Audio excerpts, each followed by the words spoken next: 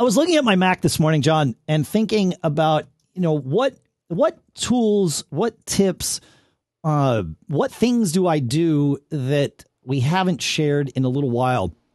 And one app that I I use constantly, in fact, I'm I'm using it right now, is called amphetamine. We've talked about it on the show before, but I think we'd only talked about it when one of you told us about it. I hadn't really integrated it into my workflow yet.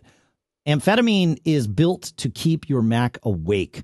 And what's cool about it, it, you can do this from the command line. There is built into Mac OS. If you go to the terminal and type in the word caffeinate, uh, that will keep your Mac awake. Uh, and then if you, um, I think even with with caffeinate, I'm looking at the man page. You can do a dash T and give it a number of seconds that it will stay awake, and then uh, you know allow it to go to sleep, assuming nothing else keeping it awake. And then you can set assertions to keep the display from sleeping or, or you know, prevent the disk from sleeping, all those things. So I'm assuming amphetamine just leverages caffeinate, but it's a nice little GUI interface. And even better is you can set triggers.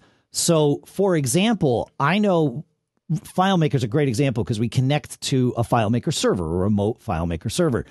And if my Mac goes to sleep while FileMaker is running and then wakes up, I get all kinds of pesky error messages saying, "Oh, I lost my connection to the server," and it's like, "Yeah, but just relax, just reconnect. It's going to be fine."